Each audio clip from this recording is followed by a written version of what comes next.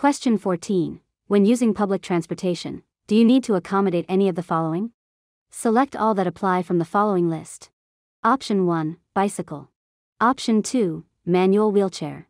Option 3 Motorized wheelchair.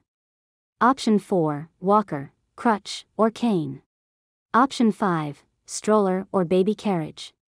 Option 6 Service animal. Option 7 Shopping cart. Option 8 I do not need any accommodations. Option 9 Check this box to add a different answer. Option 10 I prefer not to answer.